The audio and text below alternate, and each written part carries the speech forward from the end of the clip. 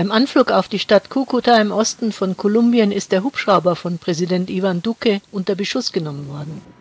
Duque war gemeinsam mit dem Verteidigungsminister und dem Innenminister auf dem Weg zu der Stadt an der Grenze zu Venezuela. Alle blieben nach ersten Angaben unverletzt. Es seien Einschusslöcher an dem Hubschrauber zu sehen, so Duque nach der Landung. Der Helikopter, in dem wir flogen, wurde Ziel eines Anschlags.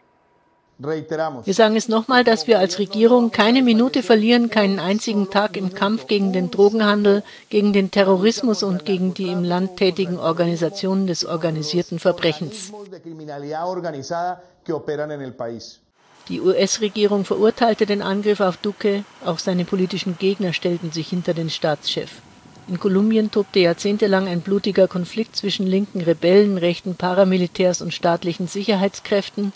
Das Land ist zudem der größte Kokainproduzent der Welt